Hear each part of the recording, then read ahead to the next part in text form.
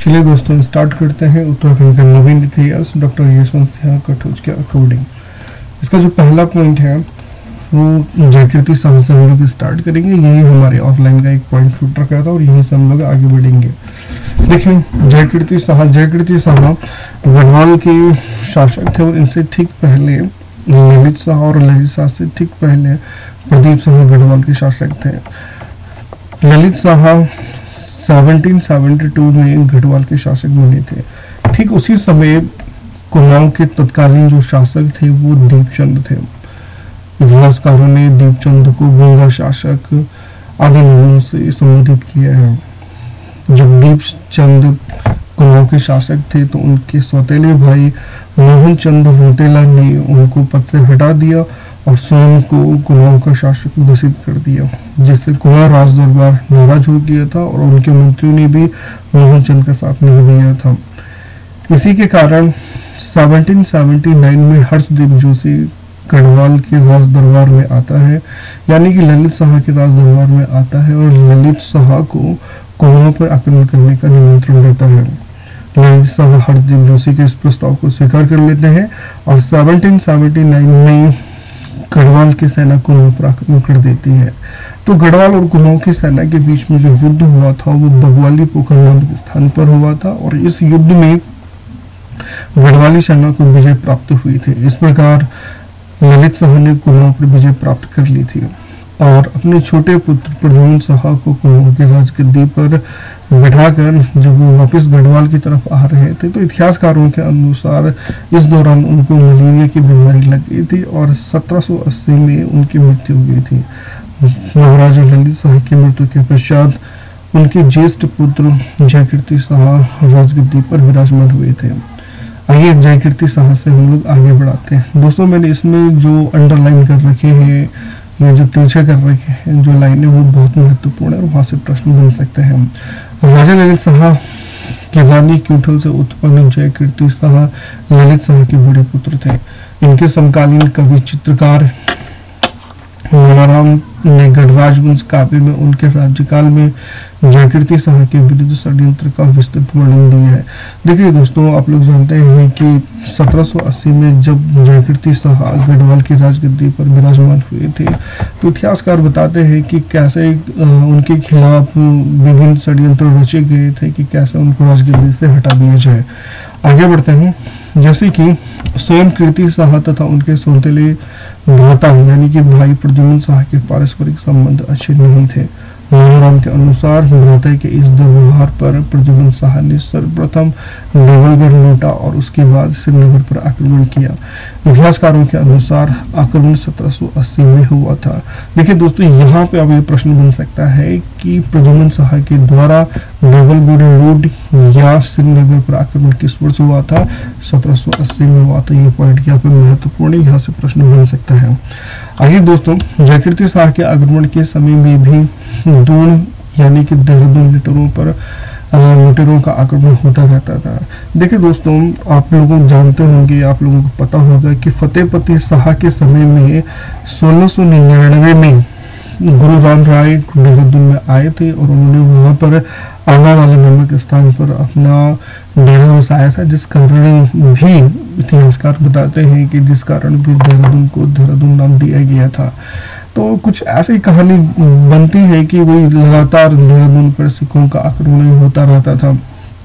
चलिए आगे दूसरा प्रश्न यहाँ पे मतलब दूसरी जो लाइन है, सत्रह में ढूंढ पर सिख छापा इतना प्रबल था कि विलियम्स के अनुसार महाराजा ने समझौते में गढ़वाल पर लूटपाट न करने का वचन लेकर सिख सरदारों को चार हज़ार रुपये वार्षिक कर देना स्वीकार कर लिया था।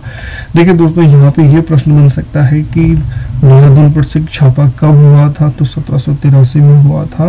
ये प्रश्न यूकेएसएससी के आगे आने वाले परीक्षाओं में देखा जा सकता है।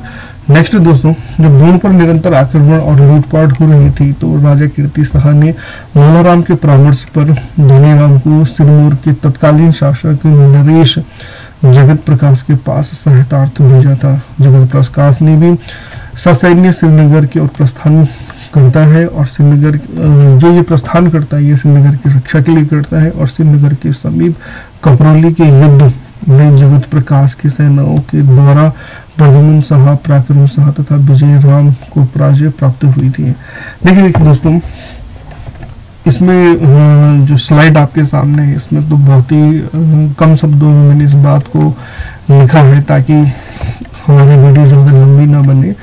इसलिए मैं आपको अपने आप इन बातों को समझाना चाह रहा हूँ। जैसे कि आप पहली लाइन देख रहे हैं कि जब दूर पर निरंतर आक्रमण और लूटपाट हो रही थी तो कीर्ति शाह ने इन लगातार आक्रमण से बचने के लिए अपने विश्वसनीय एक अधिकारी थे इनके, धनीराम जिनका नाम था। उनको राम के परामर्श पर सिरमौर के तत्कालीन जो शासक थे, जगत प्रकाश के पास सहायतार्थ भेजा था। जगत प्रकाश ने भी जयकीर्ति सहाय की प्रार्थना को स्वीकार किया था और उनकी रक्षा के लिए ससैन्य श्रीनगर की ओर प्रस्थान करता है। और श्रीनगर के समीप कपरोली के युद्ध में जगत प्रकाश की सेनाओं का जो युद्ध प्रतिमन शाह पराक्रम शाह तथा विजय राव से होता है। देखिए, ये प्रश्न बन सकता है दोस्तों कि कपरोली का युद्ध कब हुआ था और किन किन के बीच में हुआ था। जैसे कि आप लोगों को पता है कि यूकेएसएससी की आदत है कि ये नए नए फैक्ट पूछता है तो संभवतः हो सकता है कि इस प्रकार के प्रश्न पूछे जा सकते हैं। नेक्स्ट कपरोली के युद्ध का वर्णन मोला राम के गढ़ राजवंश काव्य में मिलता है। बहुत महत्वपूर्ण पॉइंट है दोस्तों ये। माली देवन लेख, ये एक लेख है। इसके अनुसार कपरोली का युद्ध सितंबर सत्रह को हुआ था। तो इस पॉइंट को आप नोट कर लीजिएगा काफ़ी महत्वपूर्ण पॉइंट है। राजवंश काव्य में आगे वर्णन मिलता है कि जगत प्रकाश जयकृति सहाय की रक्षा कर सिमोर से लौट गया और कुछ समय तक गढ़वाल राज्य में शांति बनी रही। परंतु यह शांति अधिक दिनों तक नहीं रही। गढ़ के ही मंत्रियों की गुप्त सूचना पाकर सत्रह में हर्षदेव जोशी के नेतृत्व में कुमाऊनी सेना को लेकर प्रद्युमन शाह ने पुनः गढ़वाल पर आक्रमण कर दिया और उस पर अपना अधिकार कर लिया।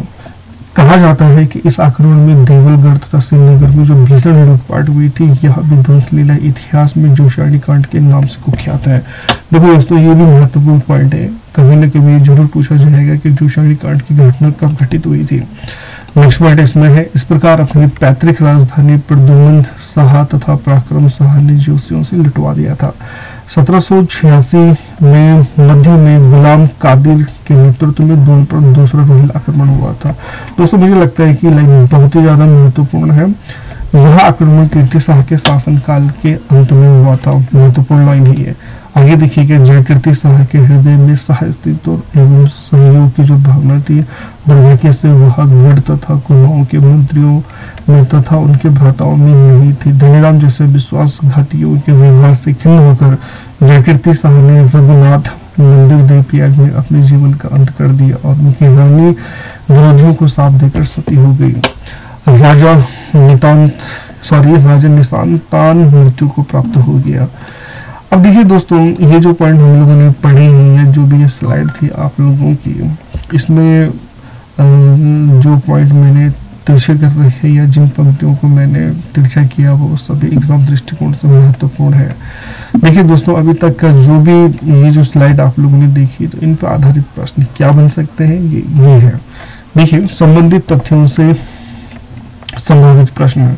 ललित शाह किस वर्ष वासी आसन पर आरूढ़ हुई थी, सत्रह में। प्रजमन शाह द्वारा देवलगढ़ पर श्रीनगर पर प्रथम आक्रमण हुआ था, सत्रह में। देखिए दोस्तों बहुत महत्वपूर्ण प्रश्न है, आप लोग जानते हैं कि ललित शाह और जयकृति शाह के आपस में नहीं बनती थी और प्रद्युम्न शाह ने जब देवलगढ़ और श्रीनगर पर प्रथम आक्रमण किया था तो वो सत्रह में किया था। किस वर्ष दोनों पर सिख छापा पड़ा था, सत्रह में हुआ था। दूसरा प्रश्न है कपरोली का युद्ध किस किस के बीच में हुआ था? तो सिरमौर के शासक जगत प्रकाश प्रदुमन शाह पराक्रम शाह तथा विजय राम के बीच में हुआ था। आप इन स्लाइड को, इस वीडियो को रिपीट करके उसको डिटेल से पढ़ सकते हैं। कपरोली का युद्ध किस वर्ष हुआ था? सत्रह में हुआ था। जोशाडी कांड की घटना कब घटित हुई थी? सत्रह में घटित हुई थी। जोशाडी कांड की घटना, जैसा भी मैंने बताया कि हरदेव जोशी के नेतृत्व में प्रदुमन शाह ने गढ़वाल पर जो आक्रमण किया था, वही घटना हमारी जोशड़ी कांड के नाम से जानी जाती है। दौड़ पर दूसरा रोहिल आक्रमण कब हुआ था? सत्रह सौ छियासी में हुआ था। दौड़ पर दूसरा रोहिल आक्रमण किसके नेतृत्व में हुआ था? तो विलन कादिर खान के नेतृत्व में हुआ था। दोस्तों, इसमें बहुत सारे ऐसे फैक्ट हैं जो बहुत महत्वपूर्ण है। अब लास्ट में कुछ बात आप लोगों से कहना चाहूँगा कि देखिए दोस्तों यूकेएसएससी की आदत है, ये फैक्चुअल को जाना पूछता है। और नए नए फैक्ट लेकर के आता जैसे कि लास्ट टाइम पे फॉरेस्ट गार्ड का पेपर हुआ था उसमें छंगलेस अभिलेख के बारे में पूछ लिया गया था। तो इस प्रकार यूकेएसएससी क्या करता है कि कुछ न कुछ ऐसे डिफरेंट प्रश्न को ले आता है जिसमें आ, आ, जिसका आंसर मिलना हमें एकदम जिसका आंसर हमें आसानी से नहीं मिल सकता है। तो मेरा प्रयास रहेगा कि आप लोगों को इस प्रकार के विभिन्न तथ्यों को बताया जाए और मुझे ऐसा लगता है कि ये जितनी भी वीडियो मैंने अभी तक बनाई है, आज की वाली जो वीडियो है, इससे संबंधित जो महत्वपूर्ण प्रश्न हो सकते हैं, ये हो सकते हैं। तो धन्यवाद।